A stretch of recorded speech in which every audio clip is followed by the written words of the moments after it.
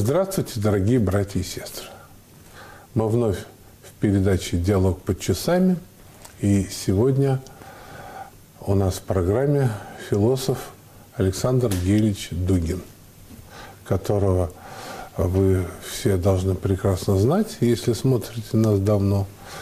А, ну и вообще, я думаю, что он на нашем таком и ну, медиа-небосклоне стал э, заметной фигурой. Здравствуйте, Александр Георгиевич. Здравствуйте. Я хотел э, спросить, ваше все-таки основное занятие философия? Ну, скорее всего, да. Поскольку я вообще возглавляю в МГУ кафедру социологии и международных отношений, и у меня есть докторская написана по политологии одна, вторая докторская по социологии, но вот я больше себя, конечно, воспринимаю философом кандидат, кандидатская у меня была по философии.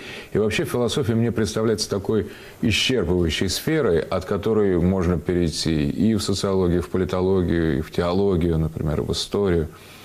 А в поэзию? В поэзии сложнее. Вот Мартин Хайдегер, немецкий философ, э, интересную вещь говорил, что философия и поэзия – это две горы. На самом деле, когда люди стоят на вершине этих гор, они видят друг друга, но для того, чтобы перейти с одной на другую, надо спуститься вниз. То есть между ними а, общей точкой соприкосновения является долина, лежащая между этими горами. Поэтому прямой такой, прямого перехода между философией и поэзией нащупать довольно трудно. Хотя, конечно, философы чаще, часто очень вдохновляются поэзией, поэты прислушиваются к философии, но все-таки это разные горы по Хайдегеру. Да, вот видите, а я думал, ну, как-то по моему ощущению, это как вот Эльбрус или э, Арарат, двуглавая такая гора. Что в долину не надо спускаться, а как-то немножко приспустить. Ну вот, знаете, вот интересно по Хайдегеру именно, что при всей видимости, поскольку когда люди доходят до этих вершин, они видят друг друга. Да, с одной вершины лучше видно другую ну, вершину. это разумеется. Там Она... и воздух способствует. Ну и, в общем, то, точка зрения, то, что называется наблюдательный пункт вот у философа неоплатоники говорит, что вершина Олимпа – это наблюдательный пункт, с которого видно всю Вселенную. Так вот, философ видит одну Вселенную, он видит себя в центре вот философской Вселенной, а поэт в центре поэтической. И несмотря на сходство и вот такую некоторую действительно разряженность воздуха, это разные горы. Ну и потом э, мне всегда казалось, что вот э, те откровения, которые посещают поэта, они сродни откровениям, которые посещают философа. Сродни. Но очень э, различен язык, потому что язык философии – это ну, язык да. идей и концептов, а язык поэзии – это язык образов, образов, слов. Это немножко разные вещи, поскольку для философа концепт или идея, они в каком-то смысле превышают слова. Они живут где-то вот в особом таком идейном мире, который подлежит созерцанию. А поэт без слова, без пластики, без, э, без отдельных букв, звуков, их сочетаний, без музыки слова, без ее, без его такого, можно сказать, вот чувственного присутствия, очень сложно. Сложно поэтому переводить и объяснять, о чем поэзия. Настоящая поэзия настолько многомерна, что нуждается в каком-то бесконечном пояснении, и все равно смысла ее не передашь, если нет Ну да, она практически вкуса. непереводима, потому что нужно ну, иметь тот инструмент, на котором сыграл автор. Да, и плюс еще интересно, что поэты, как правило, не понимают, что они, э, настоящие поэты, говорят, потому что они становятся в каком-то смысле такими трансляторами муз, вдохновения. В то время как если философ будет не понимать, что он говорит, он будет дисквалифицирован. Философу требуется понимать, что он говорит. Он должен провести саморефлексию, должен сказать, почему он это говорит, в качестве кого он говорит, откуда он то или иное взял. Это его профессиональный долг. В то время, если поэт будет сосредотачиваться на этом, то едва ли поэзия родится. Вот в поэзии вот должна быть такая спонтанность. А, поэт не может существовать вне ткани, поэзии, ну, вот как таковой, допустим, своего языка. Да. Вот. И также и философ, он не может не знать всего, всей философии, которая была до него и существует в его время. Но а, правильно, конечно, это совершенно верно. Но здесь, с другой стороны, философ, любой философ стремится найти некий общий истоковый, некий вот светящийся как у, у Платона, светящиеся сущности, которые потом, как источники света, подвергаются дифракции на системы, теории, языки в каком-то смысле. Я, Александр Гельевич, не случайно об этом как-то заговорил, потому что, э, ну, с одной стороны, каждый человек, э, ну, свои какие-то психофизические свойства, может, более эмоционально, эмоционально менее. Но в вчерашней передаче э, вы прям, когда э, э, кто-то говорил из противоположной стороны, вы прям как бы так вот начали с того, что как будто выстрелили так словом. Такой эмоциональный разряд был похож на такую, знаете, на грозу, на молнию. Вот. И я подумал, а, что вот... Э, ну, я всегда э, думал, что э, поэзия и философия, они вот таким образом соприкасаются. Вот. Вы немножко пояснили, как вы это чувствуете. Но я тоже чувствую, что поэтическое все равно ну, такое ну, отношение, ну, можно сказать, внутри вас – художественное, потому что иначе бы не затрагивало так ваше сердце. Вот, э, э, отец Дмитрий, э, знаете, на самом деле идеи, просто речь идет о том, что это очень живая вещь, сфера идей. Вот у нас есть карикатурное представление о философах. Когда говорят философски относиться к жизни, значит не принимать ничего как бы близко к сердцу. Это очень ложное представление. Философия – это сфера, наоборот, на мой взгляд, повышенной энергии, повышенной повышенной, повышенной внимательности к определенным вещам. И вот то, что человека не философского, например, может оставить равнодушным, Например, столкновение с идеями или взглядами, которые являются враждебными, ложными или принадлежащими к другой альтернативной э, мировоззренческой платформе. Ну, обычный человек думает, если меня не обижают, не оскорбляют, не унижают, то это мое, ну, как бы меня и не мобилизует, то есть или не привлекает, не восхищает. А в мире идей, неважно, а, каковы вот физический или даже эмоциональный посыл, важно, как, что стоит за теми или иными высказываниями, с теми или иными группами социальными, с теми или иными людьми.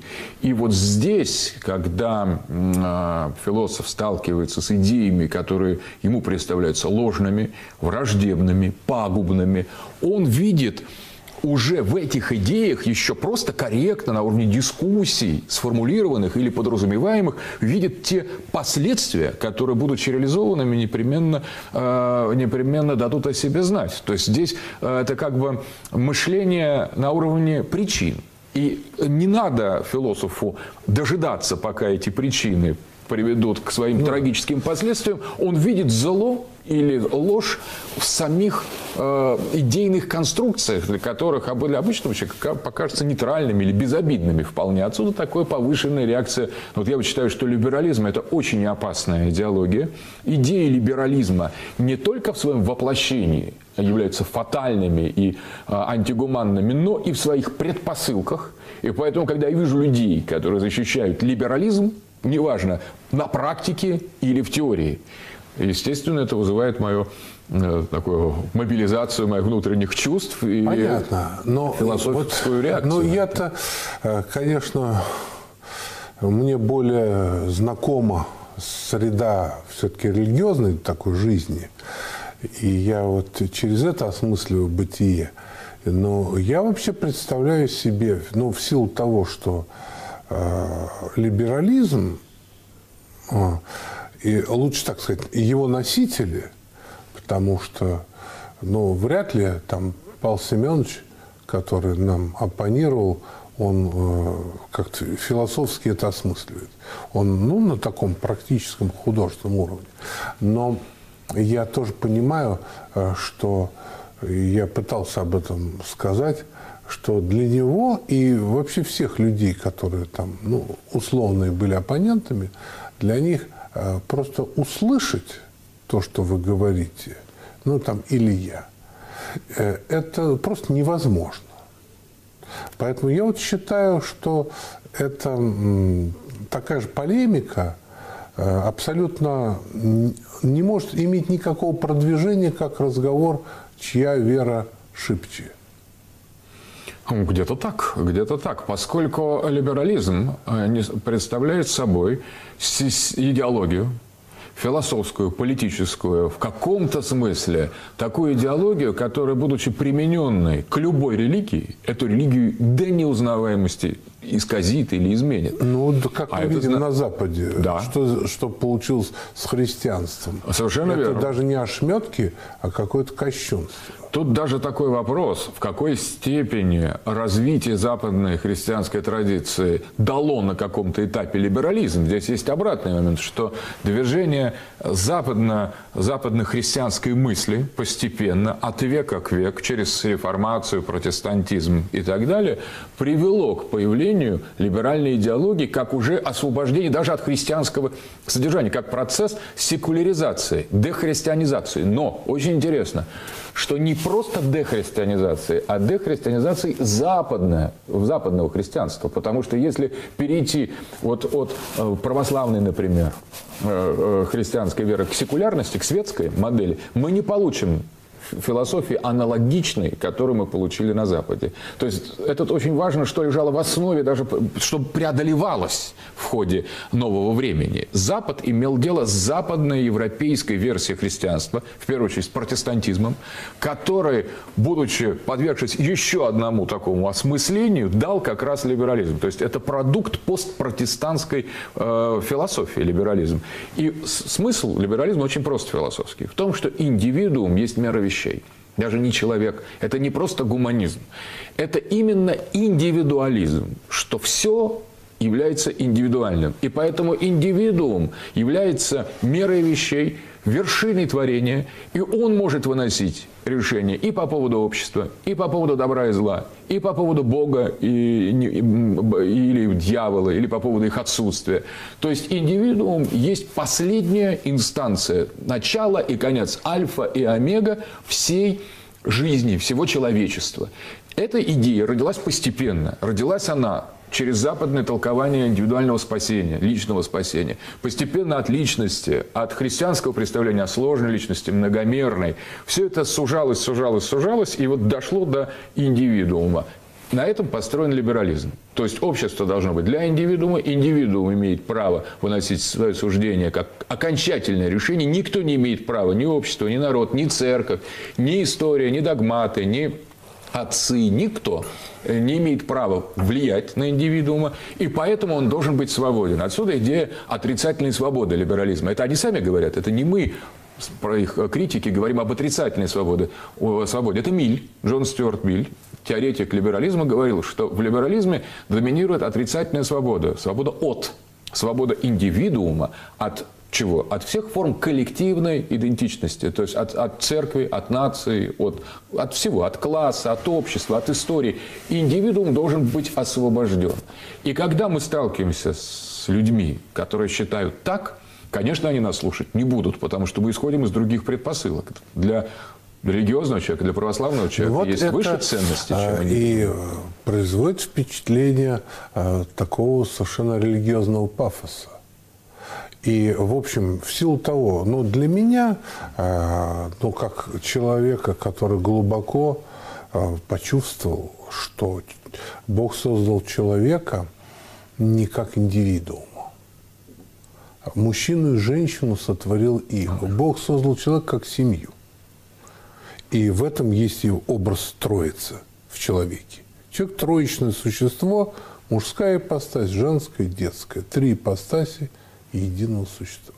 Ангельский собор и человеческий род. Если человек индивидуализируется, он превращается в беса. Ну, плотиного беса.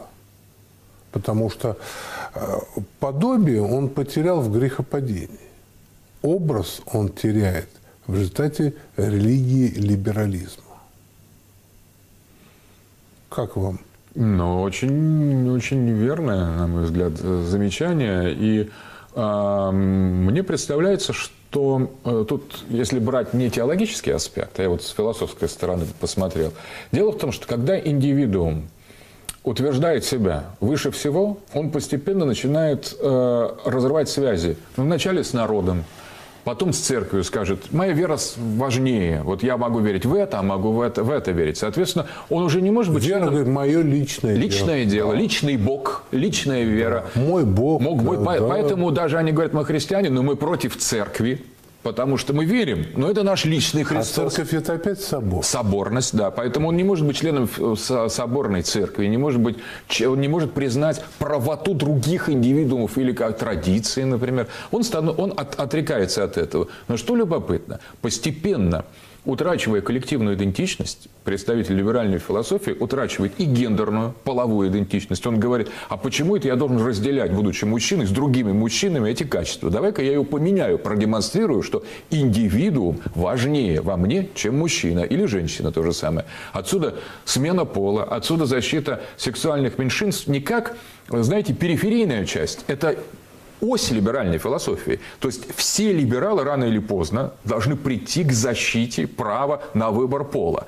А вот дальше, последнее, что остается, многие либералы сегодня на, на самом таком пике развития этой философии говорят, но ведь человек – это тоже коллективная идентичность. То есть я, там, Петя и Ваня, мы оба люди, значит, мы разделяем что-то общее. А мне ничего общего с ним не связывает. Я хочу делать личную карьеру, личные креативные свойства. Поэтому человечество, гуманизм тоже идет туда же, куда шло до этого церковь, народ, отечество. И в результате мы получаем индивидуума, уже оторванного даже от человеческого существа. И в этом отношении, если говорить вот о метафоре бесов в философском смысле, наверное, только это и может, э, может э, быть здесь используемо, потому что такой индивидуум, он отрывает свои связи с архетипом человеческого. Да, он перестает быть человеком. Человеком да. А так как он вечное духовное существо, он просто становится бесом. Ну, для этого надо верить. Чтобы так утверждать, с религиозной точки зрения это очень точно, потому что для этого надо верить в бесов. Но они ведь начинают с того, либералы, что все бесов нет, ангелов нет. Обратите внимание, начало секуляризации не затрагивает, не затрагивает в начале Бога. В начале говорится, мы, не, мы верим в Бога, деизм, например, европейский, но не верим в церковь, в чудеса, в ангелов и в бесов. То есть ангелов и бесов устраняют еще до того, когда устраняют Бога. А потом уже Ницше говорит, Бог умер. То есть потом заканчивается с ним. Ведь э, все святые отцы э, и так, собственно, говорили, что одна из главных задач дьявола – это вообще скрыться из поля зрения человека. Абсолютно верно. Но это как каждому вообще лазутчику. Ну вот как мне давеча машину разбили, вот. И потом на видеокамеру посмотрели, прокрался человек камнем, разбил стекло и спустился во враг. Там видно, ну, конечно, нельзя узнать. Вот. Ну, просто вот такая бессильная злоба. И, вот, и это вот просто вот э, теряет всяческие э, такие возможности, такие человеческие.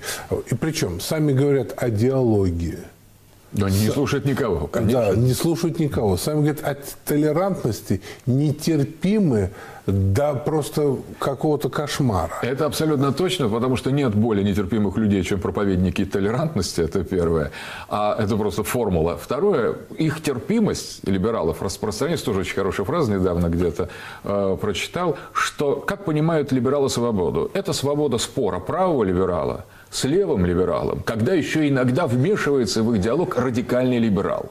Все, что стоит за этим, просто подвергается к совершенно выносу за всякие скобки политкорректности. Все то, что не входит в эту троицу, левый, правый и радикальный либерал, все это считается просто неприемлемым. Это и объявляется бредом. Ну, или бредом, или просто не... не ну, это любимое слово это бред, и это высмеивается как... Да. Если ты не человек, если ты не либерал, то ты не человек, считают они. По сути дела, они отказывают своим противникам или оппонентам в статусе человека. Я часто с ними сталкиваюсь. В последнее время я вот на одной программе, знаете, отче, вот я даю научное из учебника определение либерализма. Напротив меня стоит четыре человека, четыре либерала, которые кричат – Они кричат в голос просто. Знаете, это уже напоминает такую не голосолалию, а просто крик. Голосолалию, да. Да, только в обратном смысле слова. Они просто кричат разные вещи. Ну вот, э, голосолалия вещь все-таки тоже близка к религиозности. Поэтому Ну вот да, такая. там э, ну, огромное количество элементов в- просто религиозности. Да, или эхолалия, когда вот люди говорят на непонятных таких наречиях. И, э, и- или вот в этот момент что они протестуют? Они протестуют не против моей позиции, они про- протестуют против определения из учебника. Представьте, вот меня поражает, что если это из моих уст звучит, я конечно, откровенно говорю, что я не сторонник либерализма, я противник этой, этой философии, этой идеологии, я консерватор, я представитель другой школы философской. Но из моих уст, если будет даже... а, А, кстати, простите, Определение, перебью. э, А кто ваш, ну, так сказать, ну, учитель, самый большой авторитет из философов? И вообще, есть ли такой? Ну, трудно сказать. Я вообще Вы сторонник... какой школе принадлежите? Э, Я традиционалист. Я э, сторонник э, традиционализма. Это философская школа 20 века, которая критиковала современность вообще и предлагала возвратиться к истокам э, религиозного мировоззрения как непрев- непревос- не- непревос- непревзойденной норме. То есть идея того, что прошлое в данном случае становится преодолеваемым только если мы примем идею прогресса. Традиционалисты говорили, нет идеи прогресса, есть идея э, вечности, которая отражена в религиозных учениях, и они не являются чем-то каким-то пережитком. Просто потому, что нет прогресса. И на самом деле то, что мы имеем в виду под современностью, это снисхождение или деградация по отношению к э, вот этому религиозному традиционному комплексу идей. Точно так же закат Европы Шпенглера, э, или вот традиционализм там, Рене Генона, э, или Юлиуса Ивол, или Мартина Хайдегера, который считал, что в философии есть забвение о бытии.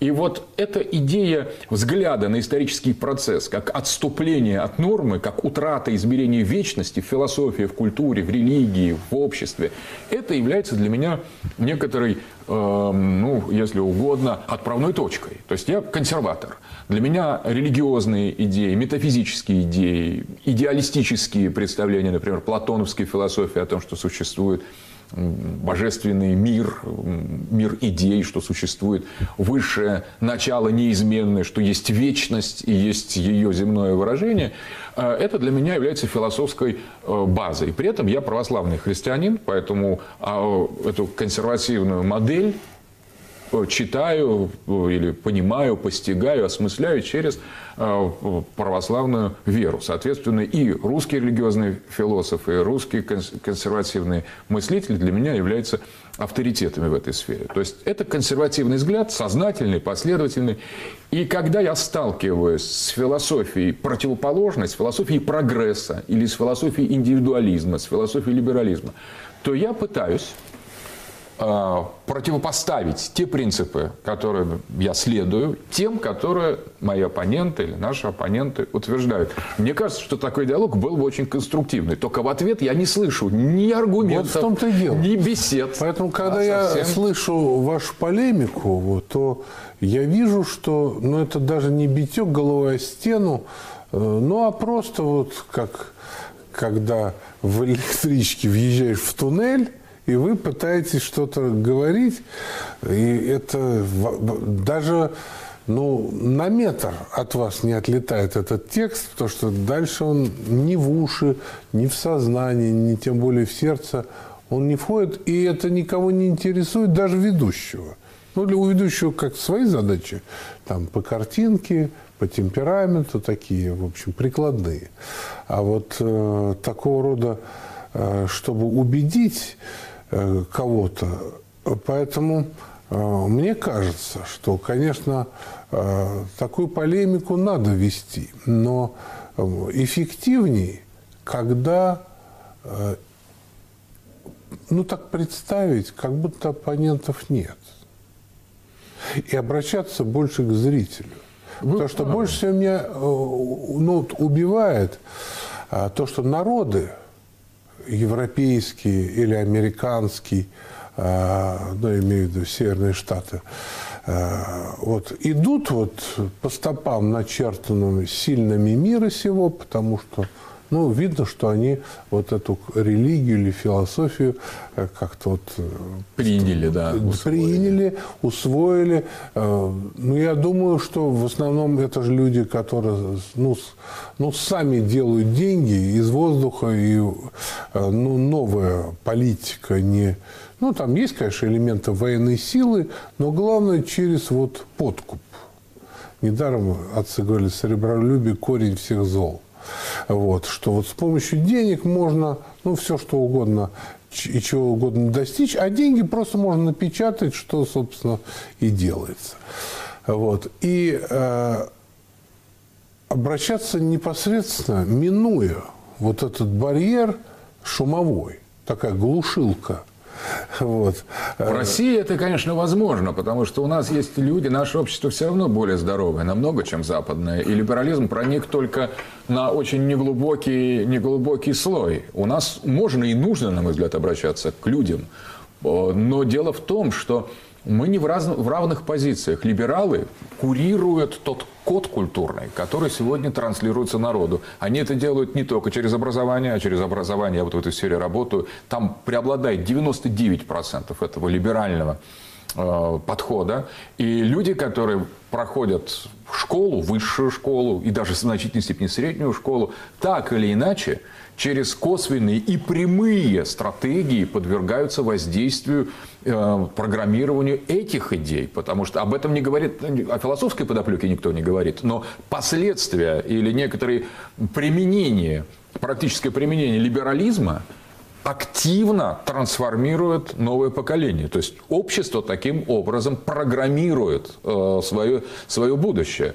Поэтому на самом деле... С одной стороны, ну вот э, как-то, исходя просто из математической индукции, ну, совершенно видно, где этому всему конец. Более того, он и конец-то виден. Но и вот как может обыватель себя в этой ситуации чувствовать, что ну, я умру раньше, что ли? Нет, смерть либерализмом исключается. Смерть игнорируется. Смерть либо э, превращается в объект насмешки, в юмор, на самом деле, либо она вообще выносится. Это очень любопытно, что если раньше кладбища, погосты были центром поселения, на этих погостах люди собирались, чтили прошлых, принимали решения, иногда выносили суд в древности. Так у, то... у китайцев вообще это религиозность да. построена. Но и в нашем христианском мире, в деревнях, погост да. рядом с церковью, там люди собирались, это была Э, частью, частью коллективного бытия деревни, то постепенно кладбище, то есть все, что напоминает о смерти, начинает превращаться в, э, в некую фабрику, которая выносится за пределы города, об этом забывают. И память смертная, вообще память о конечности жизни – она откладывается и откладывается и откладывается, а потом вообще как бы исчезает. Либерализм, конечно, не знает ни, ничего после того, что э, как бы завершает человеческое бытие в этом мире, в земном мире, и, соответственно,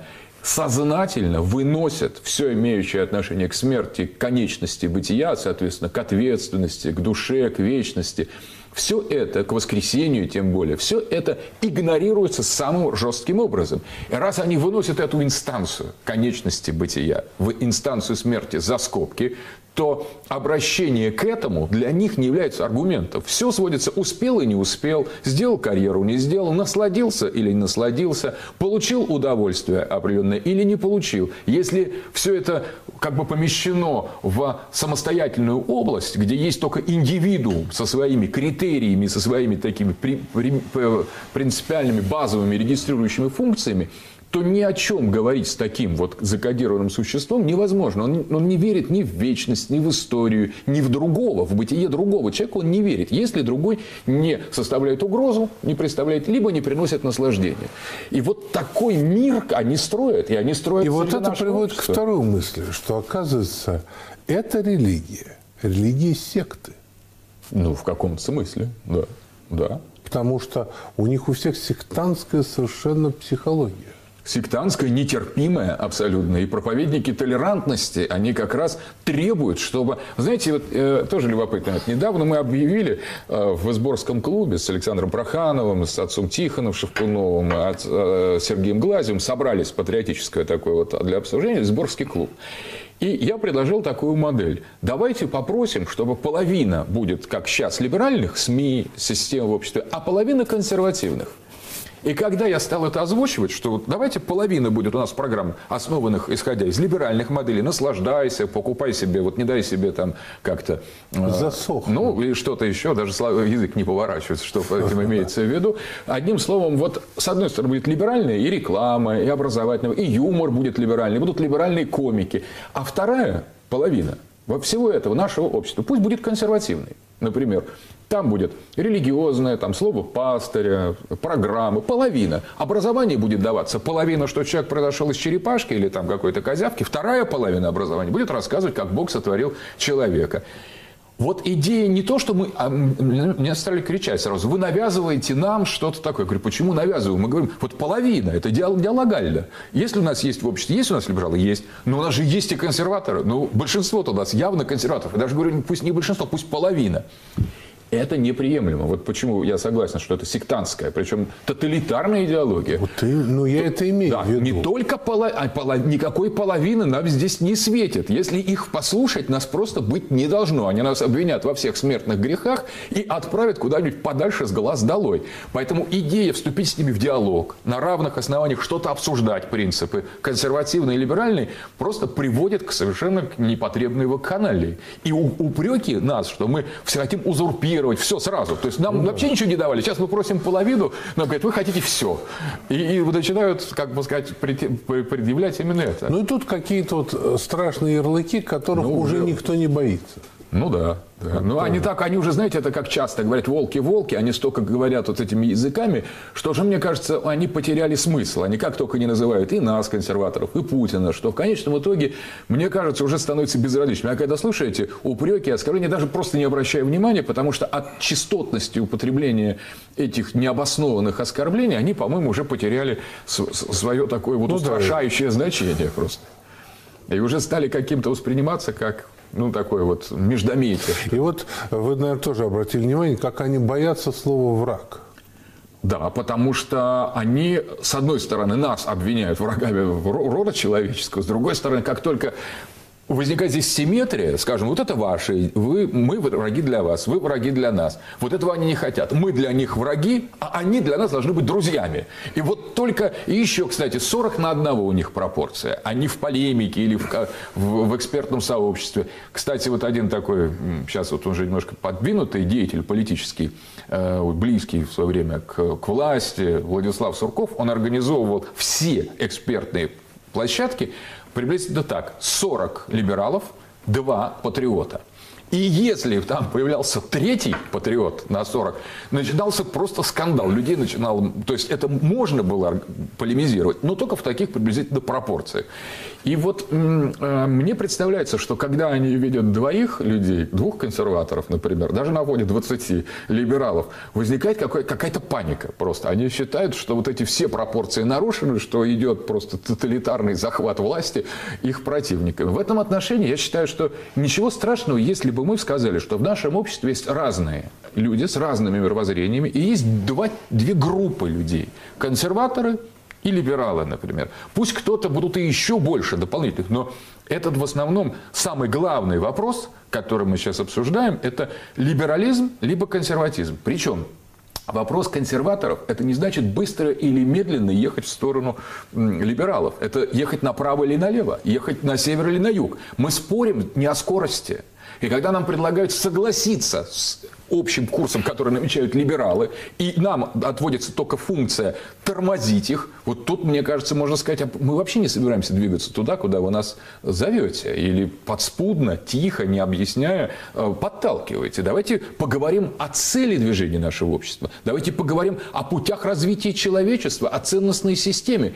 И вот тут начинается как раз, что вы хотите остановить прогресс, вы хотите вернуть нас в темное средневековье. Ну да, общие нам... слова. Сталинизм, да. средневековье средневековье, Да, там да, э, просто вот, ну, Мракобесие еще вот они используют. Мракобесие. Ну, вот тоже очень любопытно.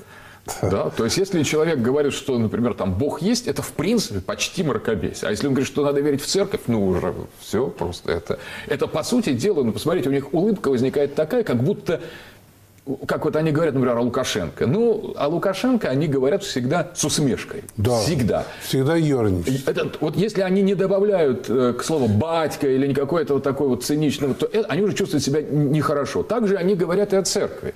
То есть также они уже сейчас И вообще о власти. о власти, так, так называемая власть, или это известная власть. У них Ну да, власть только вот с таким пренебрежением. привкусом. Да? И если они еще раньше держались, то последнее время, вот после этих историй с Болотной площадью, с Пусирает, здесь либералы просто заняли позицию жестко против власти, против церкви, против традиций, против большинства. То есть, когда я со Сванидзе где-то беседовал, он говорит, ваше большинство – это темные, грязные, живущие в провинции, труд- там, пролетарии. Типа, вот на самом деле ваше большинство, а наше квалифицированное меньшинство эхо Москвы, вот с этого либерального сообщества, это и есть цвет нации, который способен обеспечить прогресс и процветание. То есть, идея такая, что сегодняшняя демократия – это уже не власть большинства. Это для них, это власть меньшинства, ихнего меньшинства, либерального меньшинства. При этом, как говорят, а как же вот э, вчера тоже вот хорошо э, Лунгин говорят, мы интеллигенция.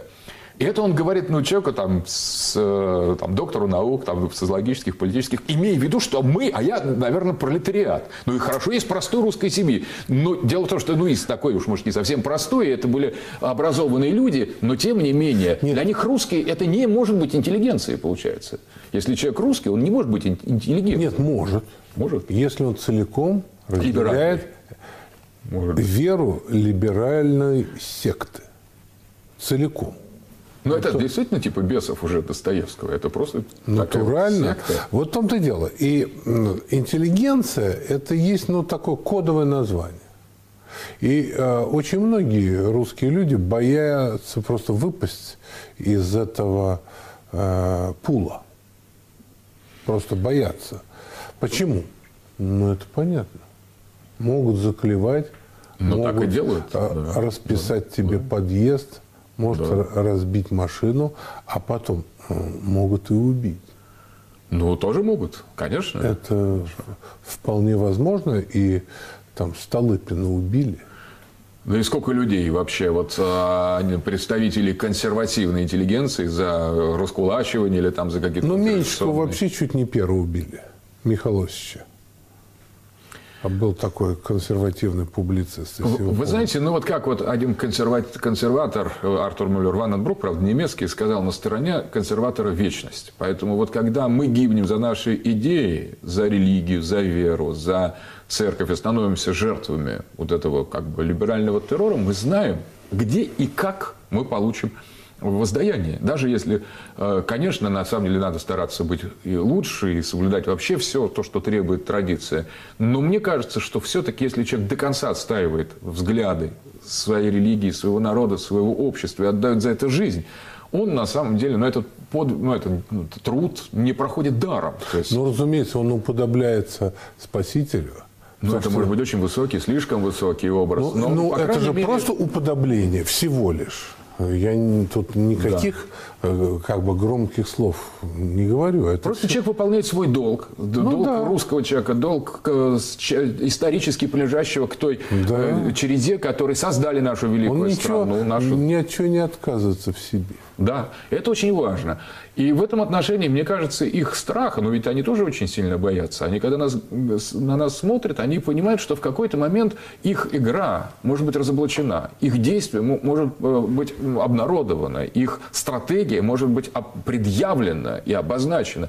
Я вижу в них страх. И вот э, что им дает возможность, ради чего они действуют? Мне даже возникает ощущение, что за этой либеральной, индивидуалистической, западнической такой модернистской и постмодернистской повесткой дня скрывается все-таки что-то еще.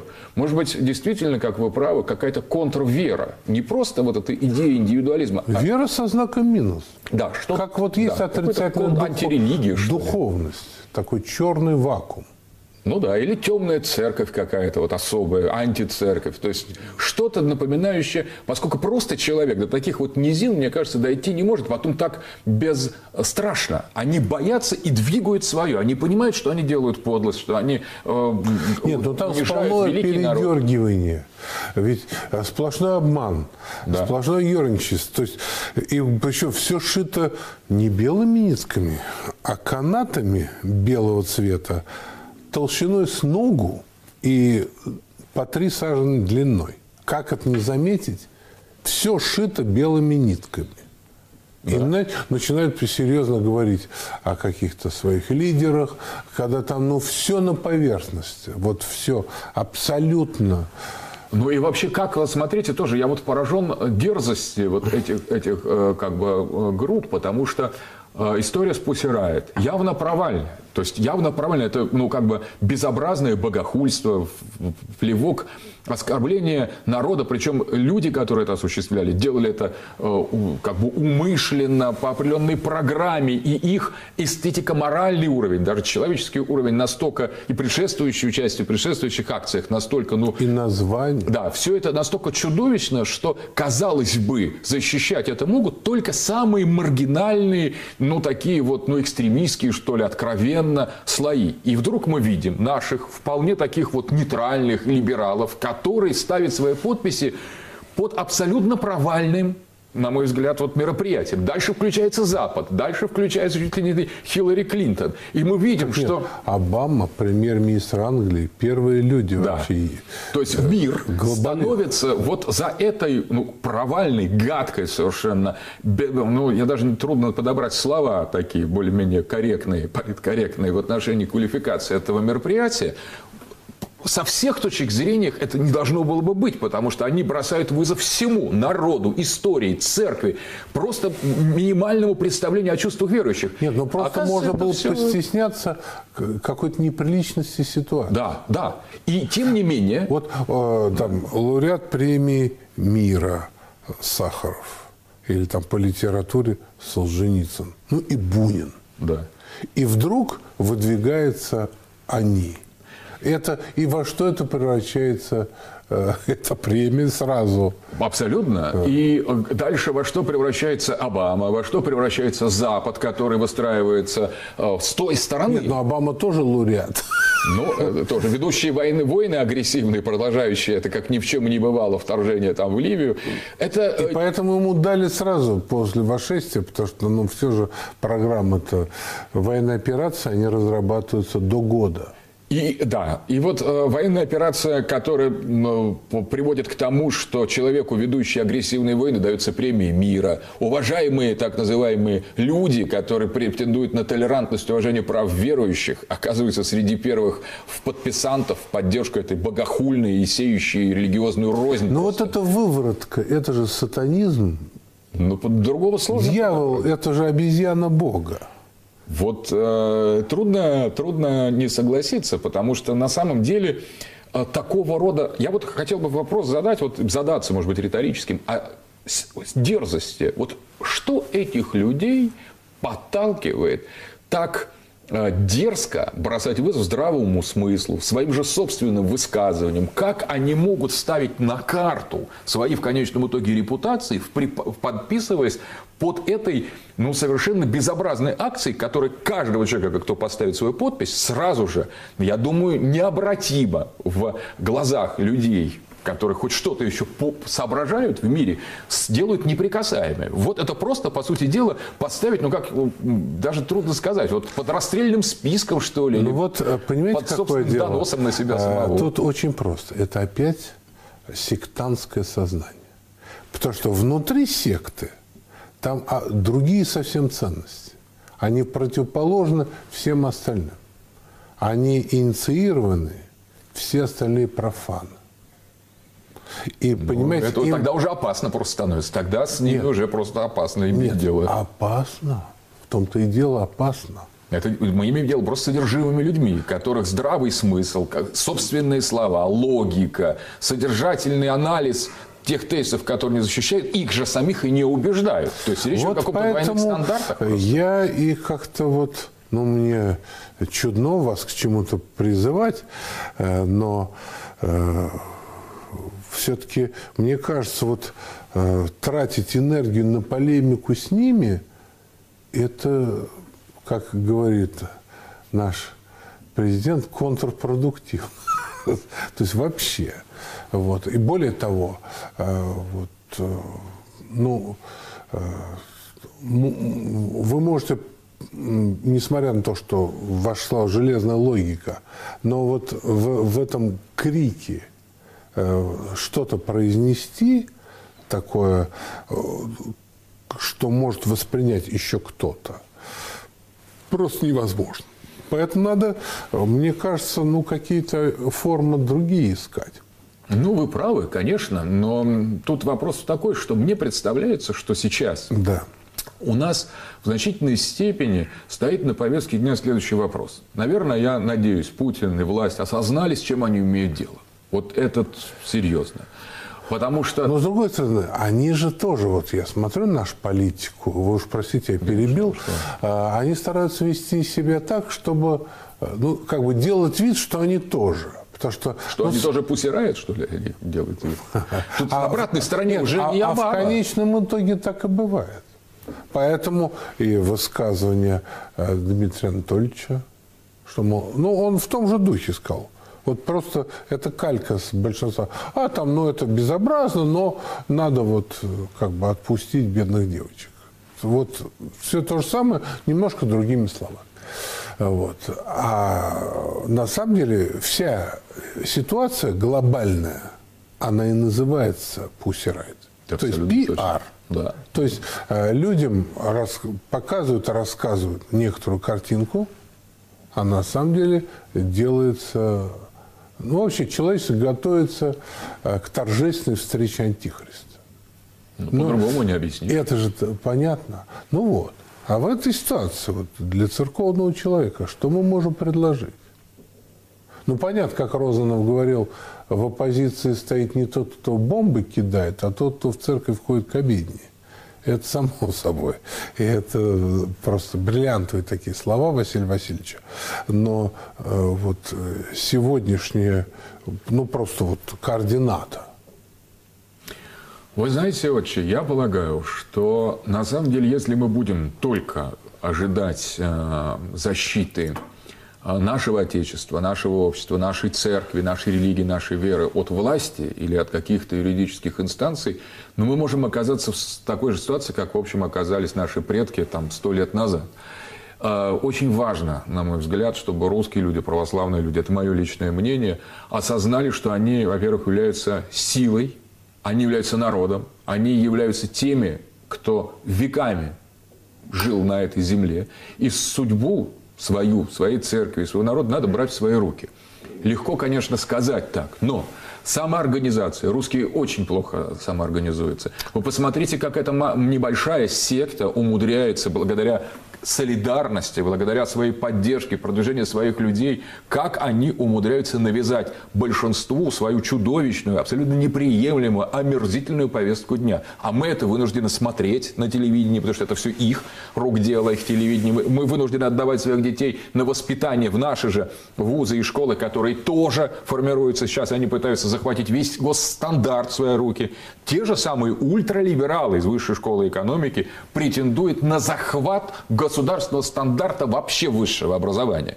Не волнуйтесь, они там найдут бреши, чтобы сделать либерализм доминирующей идеологией. Изгнать оттуда религию – это их задача просто откровенная. И вот мы а мы будем это терпеть, мы будем потом пытаться вести диалог, если мы верующие люди, пришедших с нами, нашими детьми из этого тоже как бы института по промывке мозгов в либеральном ключе, будем вести о религии, о Боге, которые мы сами часто не очень хорошо знаем, наши богословские и церковные устои. Поэтому мне представляется, что народ должен организовываться, что русские должны понять, что сейчас нас на повестке дня судьба нашего народа и нашей церкви. В очередной раз история ставит нас перед очень серьезным выбором. И если мы сами не организуемся, в православные дружины для защиты наших святынь храмов. Кстати, про дружины. Как только вот этот парень э, Иван заявил об этом, вы знаете, э, ну, мне довольно часто звонят э, разные СМИ с просьбой каких-то комментариев. но в этот день был какой-то шквал. То есть, ну вот как будто началась я, термоядерная война. Понимаете, вот дружины. То есть это был такой испуг. Хотя это просто Тоже общество, не, да? Да нет, вообще неадекватные. Ну, ну сколько можно в этих дружин дружины вот при нашем народе, который вот, ну, в таком состоянии духовном, можно вообще найти человек, какие они вообще представляют опасность? Нет, страх и ужас.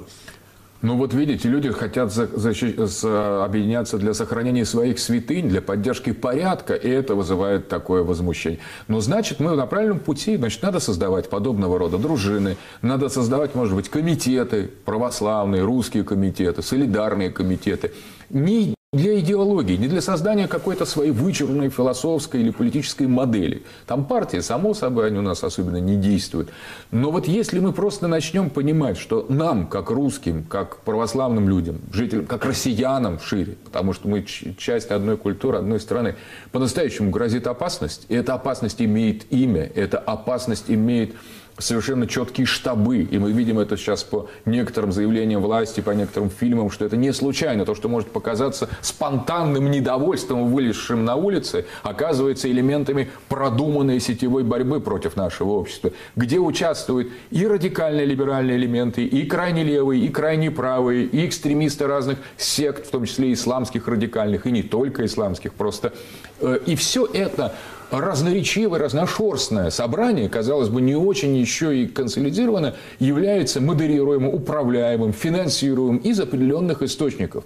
Если мы не поймем, что дело спасения России в нас самих – от нас сегодня зависит, от нашей способности мобилизоваться, преодолеть индивидуальное раздражение, которое часто разводят и лидеров общественного движения, и просто русских людей. Нас всегда было много, а сейчас мы оказываемся в ситуации, что нас уже и не так-то много по сравнению с другими окружающими нас обществами. И пора бы просто как бы задуматься о том, что если мы не сплотимся, просто не сплотимся для защиты себя, своих, но ведь мы-то сами были, как мы говорим, народ богоносный, не только себя, соответственно, мы защищаем, не из эгоизма мы так действуем, а нам что-то вручено, миссия историческая, духовная, религиозная, культурная, в конце концов, код нам дан богоносными, преподобными богоносными отцами, которые создавали наш народ изначально, вклад и нашу государственность. Нам это передали. И поэтому, защищая себя, мы не себя защищаем. Мы защищаем тот образ, который нас вложен.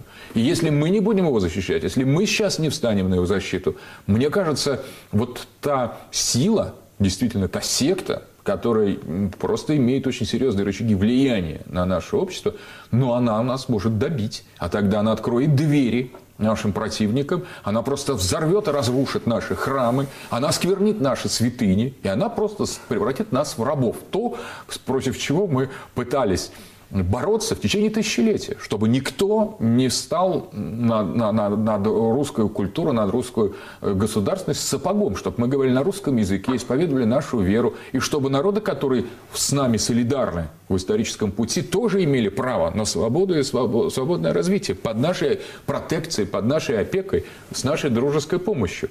И так и было. Даже многие татары, например, Исмаил Гаспринский говорил, что у русских и тюрок, у татар общая судьба. Не просто исторически а кто-то оказался. Ну, и вот, это безусловно. Да, вот эта общность судьбы, которая сплотила наш народ в единство, вот она сейчас под вопросом. Поэтому мне представляется, что действительно многие вещи сейчас обнаружи, обнаружились. И вот если раньше нам просто можно было сказать, что давайте построим как на Западе, давайте все в гуманизм, то ясно, что же это не гуманизм и не как на Западе, а что-то совершенно-совершенно другое, что нам готовится пусирает. Вот, вот как бы ну, да, бытие. В глобальном масштабе. Да, глобальном масштабе. Нам на голову наденут эту штуку. Да, да, и заставят прыгать. да. И вот только так, если мы не будем, если мы откажемся прыгать, оскверняя наш храм, нас осудят, как мракобесов, там, консерваторов, и назовут еще другими нехорошими словами. Спасибо, Александр Гельевич. К сожалению, время истекло.